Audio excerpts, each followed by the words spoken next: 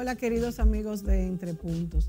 Amigos, hoy vamos a hablar del tema impositivo, que es siempre molestoso.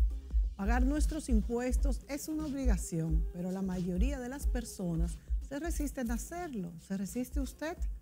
Bueno, la forma en que todos los ciudadanos paguen sus impuestos con responsabilidad depende en parte del uso que se le dé a estos recursos, o sea, que se le devuelvan al contribuyente en forma de una ciudad más organizada, manejable y que estos paguen algunos servicios para la familia, como en otros países, la escolaridad de los hijos, la atención a nuestros adultos mayores, en fin.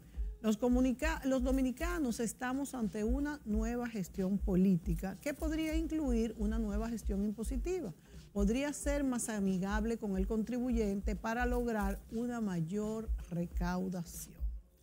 Y nos preguntamos si podría crearse un nuevo enfoque para una nueva DGI y una nueva, o sea, una DGI es Dirección General de, Impuestos Internos. ¿Usted cree que esto podría ser posible? Para conversar sobre este tema y entender mejor la forma de los cobros impositivos de empresas y personas, hemos invitado en esta ocasión al asesor fiscal, el licenciado Luis Castillo. Nos vamos a la pausa y enseguida retornamos con nuestro contenido.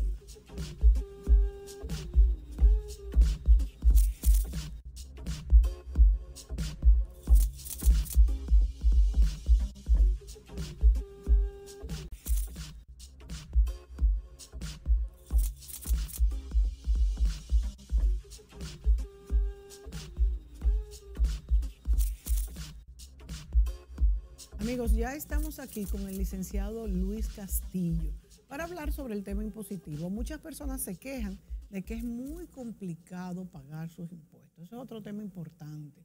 Y yo creo que es verdad, porque a mí me toma muchísimo tiempo, aunque tengo mis buenos asesores fiscales, por suerte. Gracias a Dios.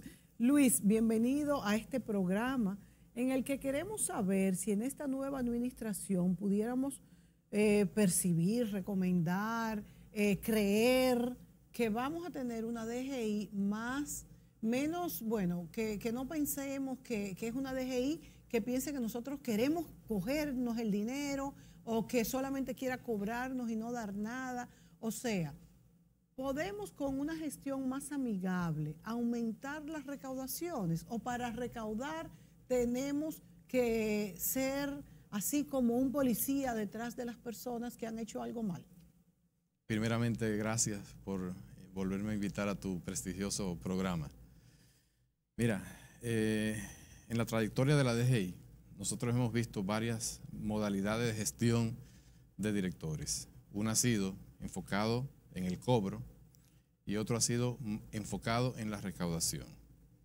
Claro que todo es recaudación, sí, pero cambia un poco el estilo, decir, bueno, dónde voy a priorizar y la forma de cómo se van a manejar.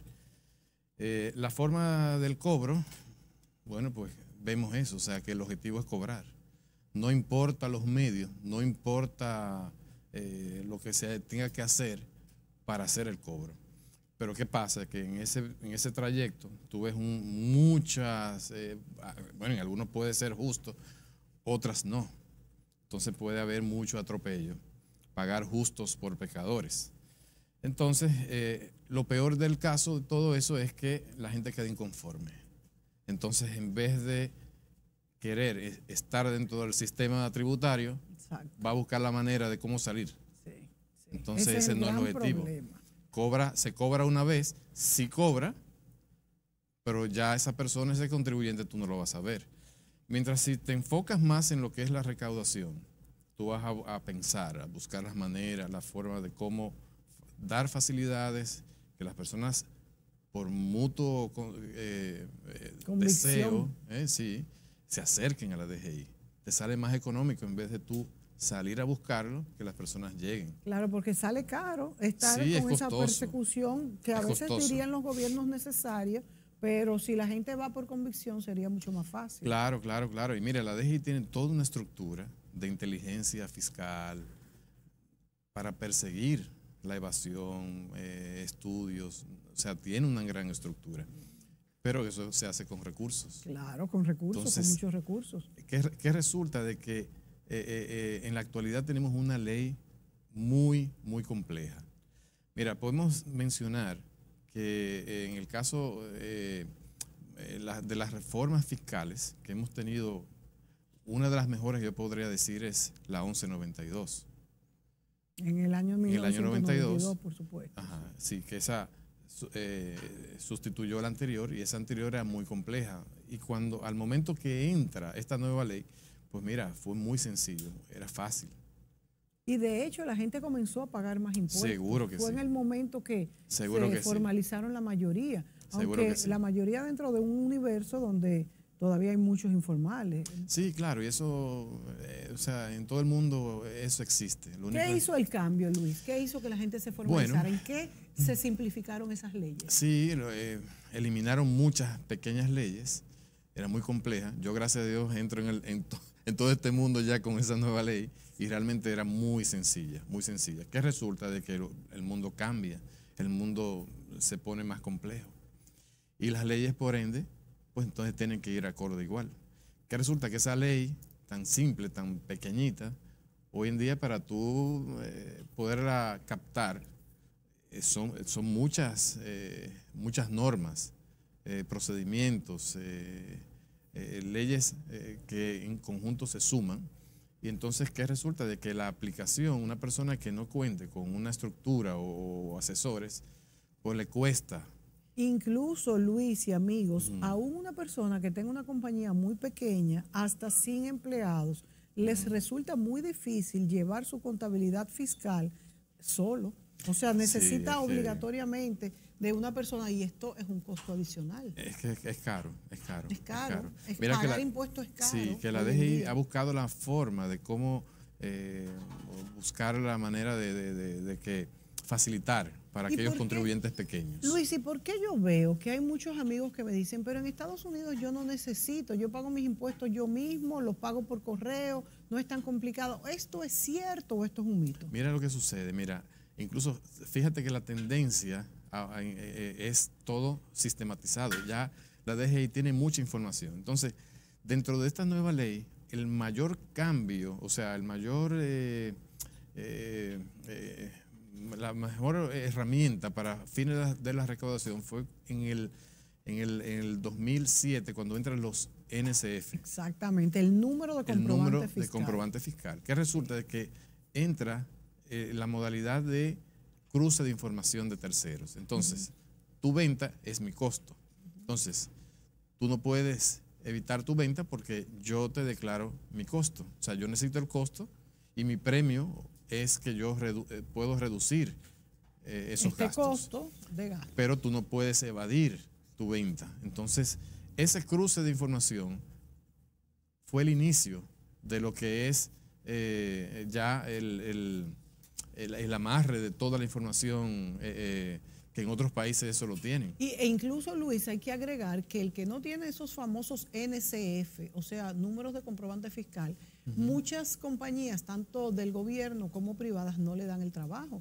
¿Por qué? Porque como muy bien dice Luis, si no tiene ese número de comprobante fiscal y usted me paga a mí como arquitecto mis servicios y yo no tengo ese número, entonces el que me lo paga, ese cliente, no lo puede deducir eh, no lo puede poner como gasto. Así es. Entonces, esto obliga a que todo el mundo se formalice. Por eso, los, eh, dentro de la informalidad, mayores chiriperos, profesionales independientes que no tienen que ver con cosas como que estén concadenadas, con, concatenadas con otras como construcción.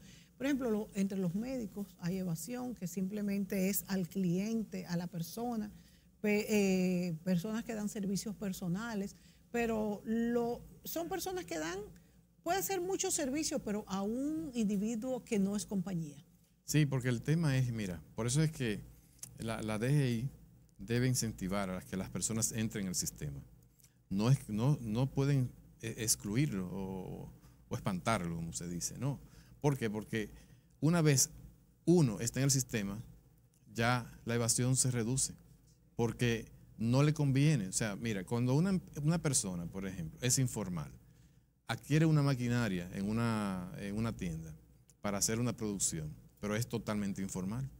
pero la, la empresa no paga sus Claro, impuestos. la empresa no. Le factura un 18%. Exacto. Entonces, ¿qué resulta? De que si esa persona que es informal ya es formal, ese ITEVI lo recupera. O sea, se ahorra un 18%. Claro, claro. Entonces, fíjate de dónde está un beneficio, ¿me entiendes? Tiene sus beneficios. Tiene su beneficio, claro que sí, pero si todos son informal, pues entonces es difícil tú poderlo captar, a menos que tú tengas un policía fiscal al lado de cada contribuyente. Entonces, es Pero fíjate también lo que tú dices, que eh, por un lado tú recuperas el ITEVI, pero si eres informal, vas a- va- la cadena entera, entera va a pagar el ITEVI y eso hasta cierto punto le conviene al gobierno también. Sí, claro que sí, claro que sí, pero en cierta forma. En porque cierta forma, por Se supuesto. pierden estadísticas, se pierden porque la venta que hace esa persona, ya esos son recursos que no entran al Estado. Y por ejemplo, Luis, en este caso de esta pandemia del COVID-19, hemos visto, por ejemplo, que el programa FASE está subvencionando eh, en 5 mil pesos el sueldo de los empleados,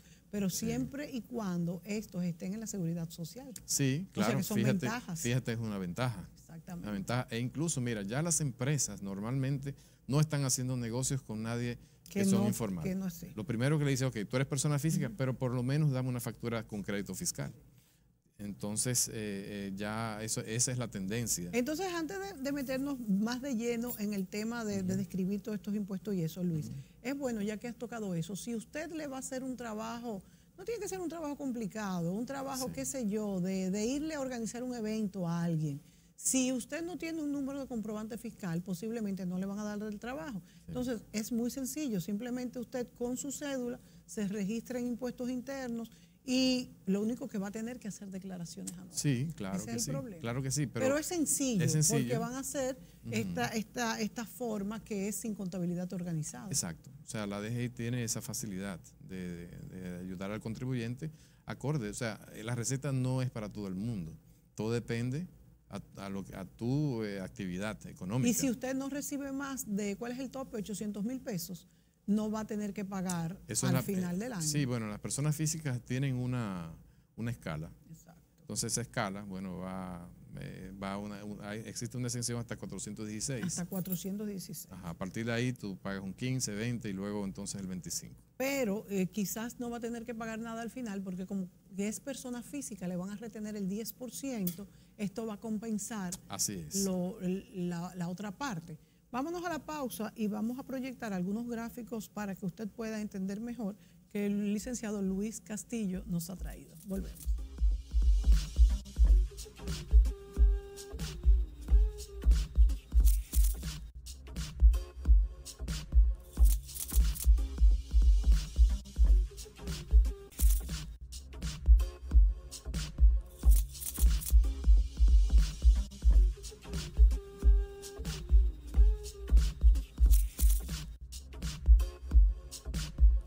Para un gobierno trabajar bien tiene que cobrar impuestos. Eso tenemos que tenerlo claro. Pero también para pagar los impuestos con, con- con orgullo, vamos a decir, tenemos que ver un gobierno que trabaja. Y es molestoso, además, tener un policía atrás que la DGI sea como una casa del terror y que, bueno, caramba, tampoco debe llegar a esos extremos. Entonces yo le pregunto al asesor fiscal Luis Castillo, ¿cómo pudiera la DGI cambiar esa imagen, Luis? Sí, mira. Sin perjudicarse, por Sí, supuesto. claro, claro, claro, porque siempre el objetivo es Recaudar. recaudación. O sea, y más ahora, que mira que hay- debemos reconocer que el Estado está haciendo un gran esfuerzo, Sí. tanto No es por el asunto del FASE, ¿eh? y también con todas las facilidades que está, eh, está ofreciendo al contribuyente. O sea, realmente eh, es una gran oportunidad para el que no está en orden hacerlo. ¿eh? Tú sabes que eh, la, la amnistía anterior, ahora mismo tenemos una amnistía, ¿Cuándo vence la amnistía actual? son 180 días, o sea, estamos en plazo, ya eh, principios de enero. Eh, la, amnistía que se realizó en el 2012, o sea, es- eso podemos decirla, decirle que eso fue casi una cacería. O sea, las personas iban a la DGI, solicitaban y decían, no, fiscalizada, tú tienes que resolver pre- previamente esto y si no, yo no te hago la amnistía. Entonces, la- ¿qué pasaba? Pero entonces no era amnistía. No eran, o sea, era, era- era amnistía, pero entonces el que tenía, no tenía problema no necesitaba hacer amnistía. Claro, porque el que va a una amnistía es porque tiene algún problema fiscal. O tiene una, una irregularidad. O sea que el que tenía una irregularidad iba a la DGI, tenía que resolver primero la irregularidad. Lo fiscalizaban, le revisaban si tenía inconsistencia. Entonces, ¿qué pasaba? Que la gente, o sea, si el ¿Y cómo, cómo sabemos que ahora no será así? Bueno, el mensaje no es ese. El mensaje es un acercamiento. O sea, eso es bueno. O sea, es un buen mensaje están todas las facilidades, yo entiendo de que eso no será, eh, eso no será una práctica como, como el anterior. Entonces, mira, eh, una de las formas de que como esta nueva DGI también, eh, que son, yo diría, un reto, retos, que debe hacer o implementar, yo diría ya quizás a partir ya del año siguiente, es cosas de que la ley lo establece y no se estaban realizando. Te puedo mencionar el caso del ajuste por inflación. Tenemos una gráfica que dice así mismo para que los televidentes la vayan viendo. Sí, Luis. Sí, ese es el ajuste por inflación a las personas, eh, a las personas físicas. Que resulta que la ley indica en el artículo, en la 1192, en el, en el 296, indica de que cada año esa escala impositiva debe ser ajustada por inflación.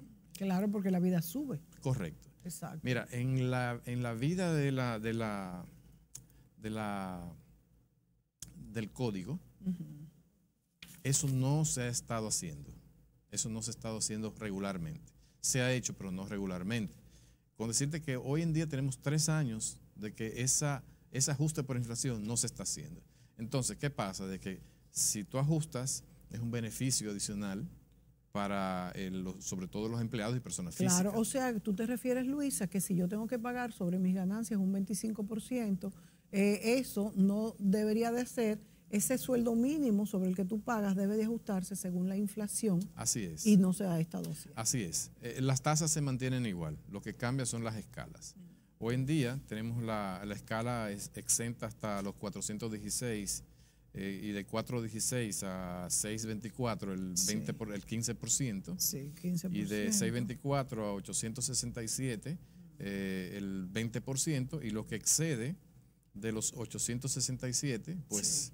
Por eso era que yo tenía ese número, 867 mil al año que percibe una persona, pues ya esto paga el 25%. El 25%, pero en adición a las a los, otros porcentajes de la O sea, desde que pasa al año de beneficios de 416 mil pesos, tú vas a comenzar a pagar. Ahora bien, aquí tú no puedes incluir ningún gasto. No, no, no, no, no, no, para nada. El gasto es justamente esta, esta exención, que son 416 mil pesos que se consideran que pueden ser como gastos. Sí, eh, sí, por suerte también, eh, un gasto admitido que se hace automático. En el caso de los empleados es el, el costo de la seguridad social. Ah, eso, se, excluye. Entonces, por suerte también esa base se, reduce y es, y es, bueno. Entonces, ¿qué resulta? De que, de que eh, muchas personas desconocen, sobre todo empleados, que trabajan aquí, aquí, aquí. Por ejemplo, mira, eh, una persona gane 20 mil pesos, pero gana 20, o sea, no paga impuestos. Claro. Pero paga 20 aquí, 20 aquí y 20 aquí.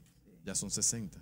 Ya, paga. paga. Entonces, ¿qué resulta? Se suma y lo, tiene que liquidar ese impuesto. Claro, claro.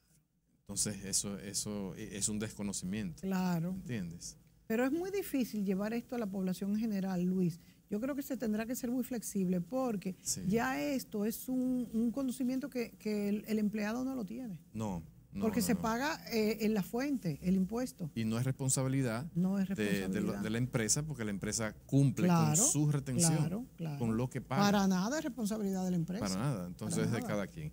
Mira, entonces otro tema que la DGI debe considerar, eh, que es algo muy importante y que le va a ayudar a una, eh, a una mejora de su imagen, es sobre la prescripción.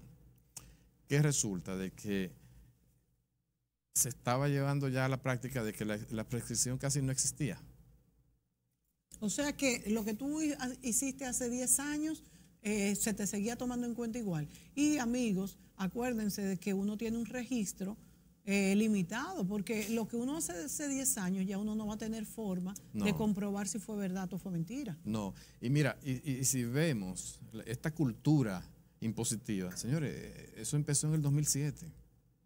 O sea, a partir del Claro, 2000 claro. somos jóvenes. Claro. Somos claro. jóvenes, mientras otros países tenían ¿Cómo ya tú vas a investigar? estructuras ya eh, robustas de, de fiscalización, eh, esto es joven. Y otra cosa, Luis, también, no es lo mismo juzgar a una persona física que gana 800 mil pesos al año quizás y que no tiene ni siquiera una estructura contable que, Sí. que, que- que juzgar a una gran corporación Correcto. que tiene un cuerpo de contables a, a su servicio. ¿no es lo Contables y, y asesores. Exacto. Entonces también hay que ser flexible con esto, Claro me que imagino. sí, claro que sí. Entonces, ¿qué resulta? Mira, la ley, el artículo 21 de, lo- de la ley 1192, eh, eh, indica claramente que son tres años la prescripción. Y entonces, ¿en qué se basaba la DGI para fiscalizar antes? Bueno, eh, eh, otros artículos en la ley dicen que no, que si, que si puede ser fraude, te aumentan a cinco, pero a la vez también, si tú recibes notificaciones, se suspenden. Entonces, ¿qué pasaba? De que recordemos que esta ley fue realizada en el 92. Tú no tenías mecanismos para, eh, para eh, de amarre, de cruce. Hoy tú tienes la información al instante. O sea, Claro. lo que tú hiciste, lo que tú haces en el mes de octubre, ya en, el, en noviembre ya lo saben. O sea, entonces, eso es otra cosa, Luis. Entonces, eso es responsabilidad de la DGI. Sí. Porque ¿cómo va a ser que si la DGI tiene tres años para fiscalizar Claro. algo, lo haga a los cinco? Entonces, ¿quiénes están siendo los ineficientes? Ellos, entonces. Sí, entonces, eso pero no perjudica, ser. entonces, ¿qué resulta? De que el contribuyente no se siente bien. Claro.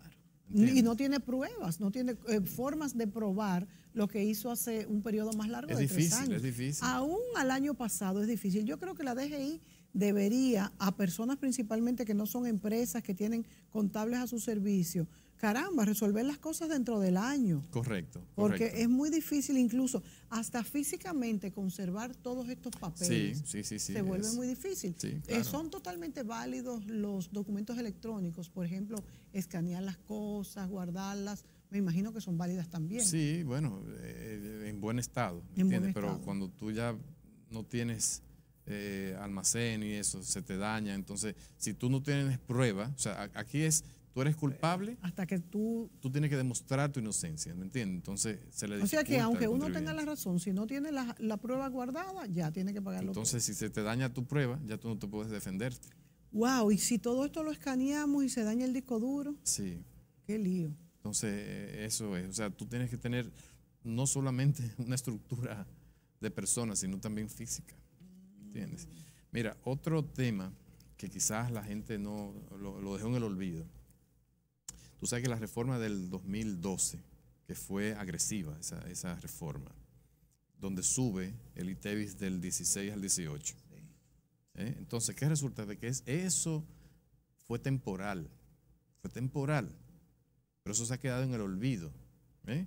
Mira, eh, la ley de 253.12 sobre el fortalecimiento y la, de la capacidad recaudatoria del Estado para la sostenibilidad fiscal y el desarrollo sostenible, Sí. ¿ok? de fecha 13 de noviembre del 2012. O sea, indica de que eh, el ITEVIS lo sube del 16 al 18, pero que resulta que dice que esto debe hacerse una reducción al 16 de nuevo. ¿ok?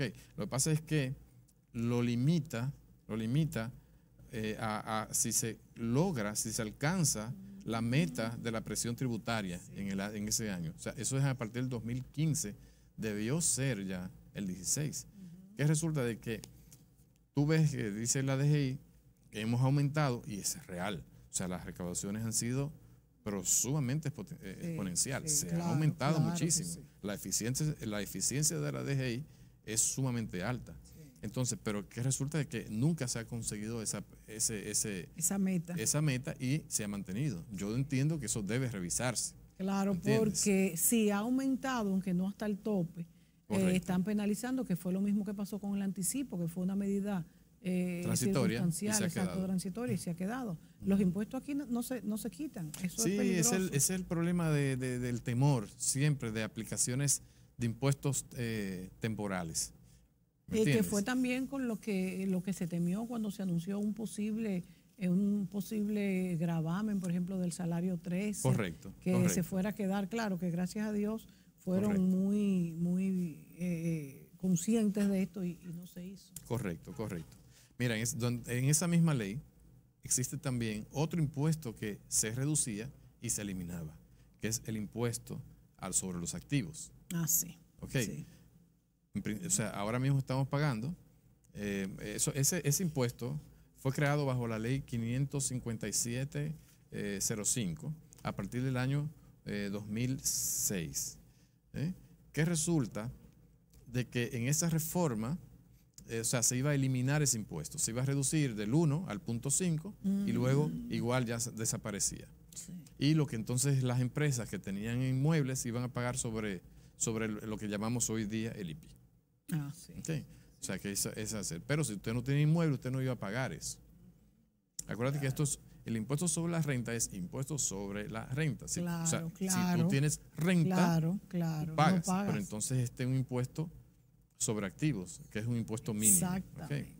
Y se ha quedado ahí. Ok, eh, eh, acabamos con estas láminas para irnos a la pausa. Vámonos entonces a la pausa y volvemos enseguida.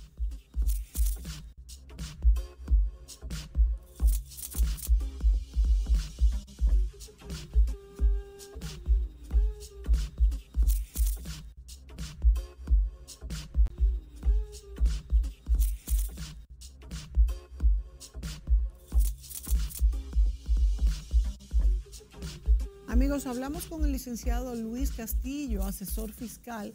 Hablamos de cómo la DGI puede convertirse en una, en una institución que recaude más, pero con las personas, con nosotros los contribuyentes, pagando de una manera más, eh, vamos a decir, más, más suave, que, que la persona vaya a pagar sin esa reticencia de caramba, tenemos una casa del terror detrás de nosotros y además no se sabe lo que se hace con nuestro dinero.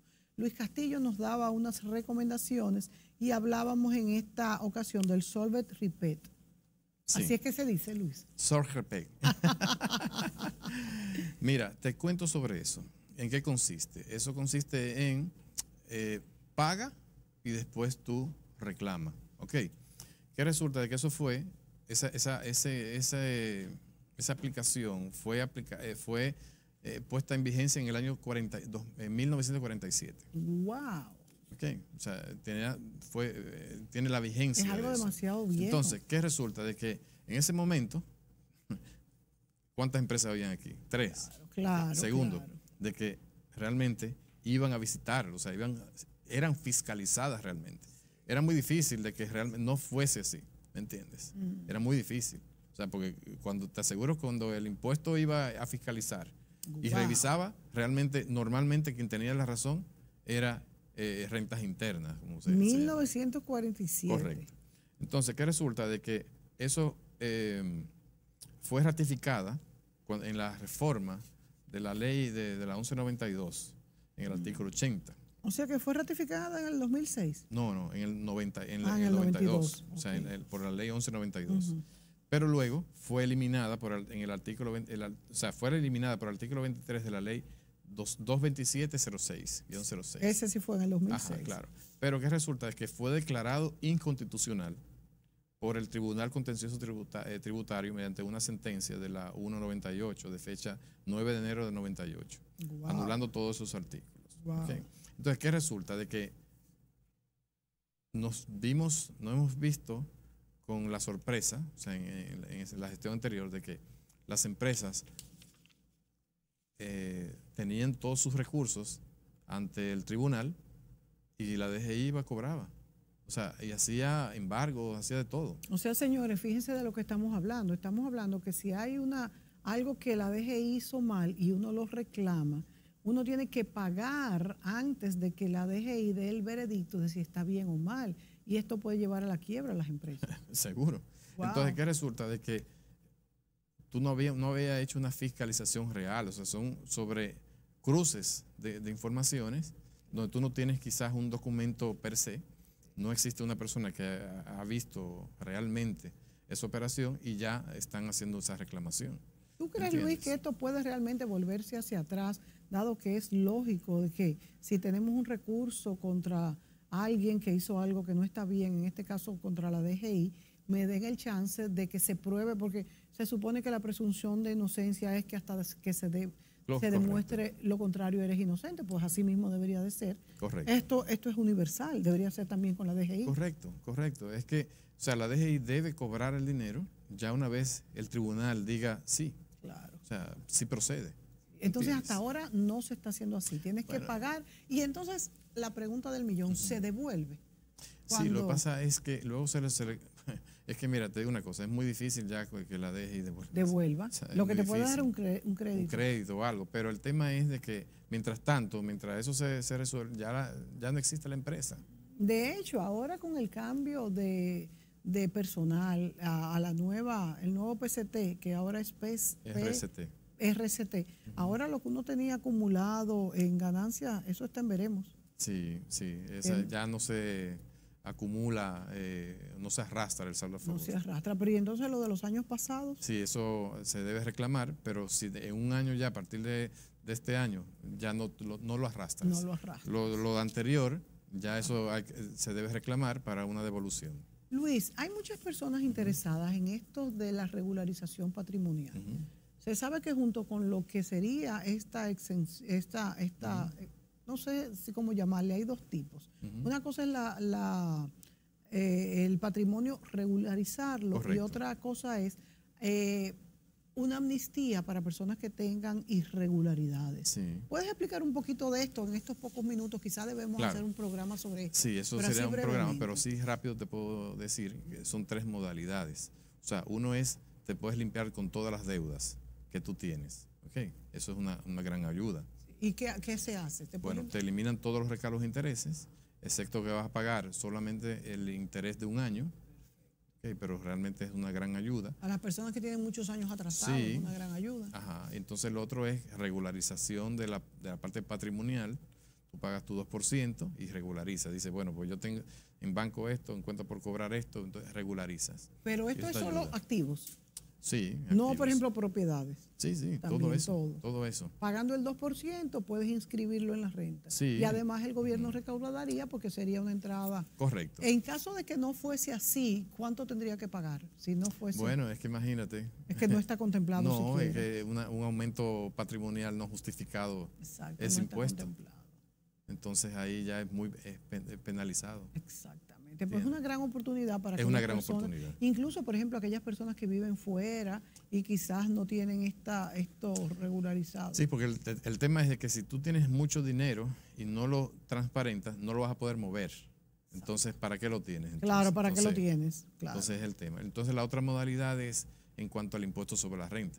O sea, tú puedes decir, pagas en base al promedio de los últimos tres años, entonces ya tienes o sea, tú pagas ya eso, ese eh, un 3.50 sobre ese promedio y ya tú estás fiscalizado. Ok, pero eso es para personas que nunca se fiscalizaron antes o para personas que tienen irregularidades. Eh, a veces no lo sabes, a veces no lo sabes. A veces uno tiene una irregularidad y no lo sabe. Exacto, no lo sabes y pues, sabes que a veces cambias de contadores y eso, entonces en ese cambio algunos te sale más barato pagar ese 3%. Te sale más barato, esos, esos costos ocultos, que tú esas incontingencias ocultas que tú no las sabes bueno, pues Señores, pero estamos hablando de mucho dinero, 3.5%, porque personas, primero, eh, empresas millonarias sería mucho dinero y empresas y, y, personas muy pequeñas también es mucho dinero, porque aunque se hable, vamos a decir, qué sé yo, de los 800 mil pesos que son el, el, el, que donde se comienza a pagar el 25, ¿cuánto es el 3.5% sí, de sale, 800 Sale, sale más barato que el 27 más recargo de intereses. ¡Wow! es mucha la diferencia. ¿eh? Entonces es una oportunidad para que todas las empresas que se sientan que tienen alguna algo, no correcto, bueno, aprovechen. Y, regularicen todo, todo eso. Y no va a ser, no serán fiscalizadas desde el 2019 hacia atrás. ¿Desde el 2019? Hacia atrás. o sea, el único año abierto sería el año 2020. Ah, ok. El 2020 sí estaría. Sí, ese sí, ese sí. Sí, claro, porque este no se ha declarado. Exacto. Claro, claro, claro. O sea, que eso es una. Todo, todo el mundo feliz. El, Claro, el, contribuyente, el Estado, el Estado también, porque va a recibir ese todo dinero. el mundo feliz. Luis, entonces en estos minutos que nos quedan, recomendaciones para esta nueva DGI, como es que hemos querido llamarla en este programa. Mira, yo diría que no solo a la, solo a la DGI, sino también a los contribuyentes. Mira, si todos pagaríamos impuestos, las tasas impositivas podrían ser más reducidas. Por ende, las empresas serían más competitivas, tanto en el mercado local como en el mercado del exterior, permitiéndoles un crecimiento sostenido, aumentando el empleo y el desarrollo de nuevas tecnologías. Las bases para el desarrollo se crean con recursos y estos se obtienen mediante el aumento de las recaudaciones de impuestos. Pero estas deben hacerse de una manera justa y eficiente. Exactamente, porque es que si no es justa y eficiente, ni el contribuyente lo va a pagar y va a seguir la evasión, ni el gobierno lo va a usar bien tampoco. O sea, si no es justa, esta es parte de la justicia. Eso es así. Y quisiéramos que en este nuevo gobierno, esta, este fuera un punto importante, tanto de parte del contribuyente como de parte del gobierno. Estamos en un momento oportuno. En un momento muy oportuno. Es importante la regularización. Hemos visto que tiene muchas ventajas. Primero usted va a poder hacerle trabajos a, compañías que estén regularizadas, va a poder trabajar para el gobierno, va a poder deducir los ITEVIS, que es un 18% de cada factura. Es, mucho dinero y va a poder también reportar los gastos vale la pena hacerlo. Así es. Vale la pena. Tenemos un tercer socio y ese es el gobierno, amigos, porque si el gobierno anda mal, nuestra empresa y nuestras personas también andamos mal. Luis, un minuto. ¿Cómo, ¿Qué se siente de ser un asesor fiscal? Esa figura que ha tomado tanta importancia en los últimos años. El asesor es un aliado de, em, las empresas y del Estado. Exactamente, de ambas, de ambas, de ambas de ambas partes, vamos a decir. Ustedes están para servir y para ayudar. Y a veces lo que se le paga se puede volver hasta poco, ¿verdad? Es poco para, para los beneficios que se obtienen. Para los beneficios que se obtienen. Y la paz.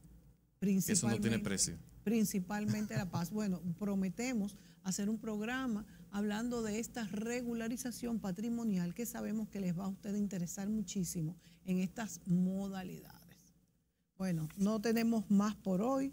Nos vamos a despedir, esperando tener a Luis próximamente con nosotros y a ustedes, amigos televidentes, continuando con su preferencia y su sintonía. Hasta la próxima.